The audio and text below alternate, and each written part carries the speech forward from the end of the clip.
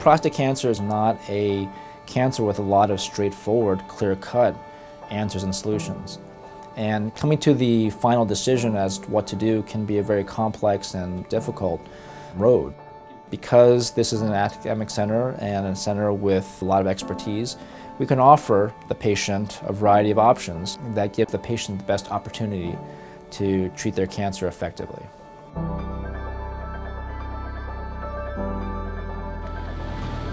We screen for prostate cancer with a blood test called prostate-specific antigen, or PSA. PSA has uh, good and not so good aspects to it.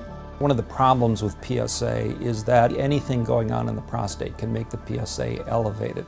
On the flip side, there are cancers that maybe don't make a lot of PSA, and that leads us to sometimes missing cancers.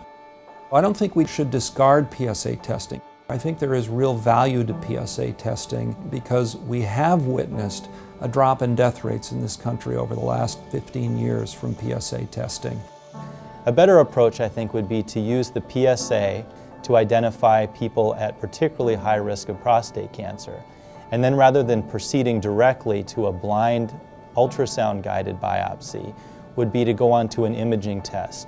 With the conventional method of using ultrasound guidance to guide prostate needle biopsy. We sample less than 1% of the total tissue of the prostate, so there's a significant chance of missing a significant cancer, as well as over-detecting very, very tiny and low-grade cancers that we're increasingly learning pose little to no risk to a man's life. Using an MRI ultrasound fusion device, we can do a better job of finding the cancers we want to find and avoiding finding the cancers that are not risky to a man's life.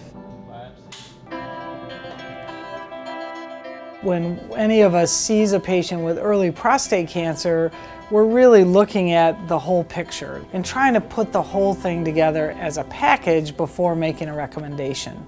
The surgical approaches to treating prostate cancer have evolved dramatically.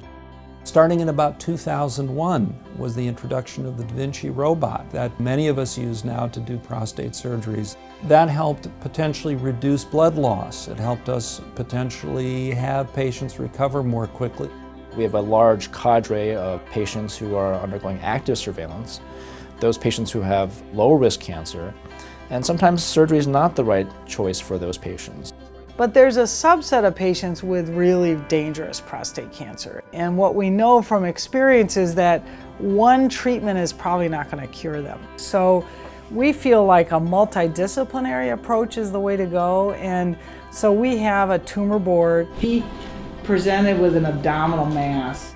It's a chance for everybody together to discuss the patient and come to a consensus about what's likely to help them the best.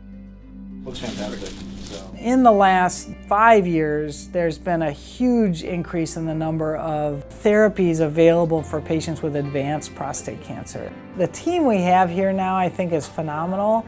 And we do want to build on that and really take advantage of the knowledge that's here. The research resources that are here are unparalleled so that we can continue to improve the lives of patients with prostate cancer.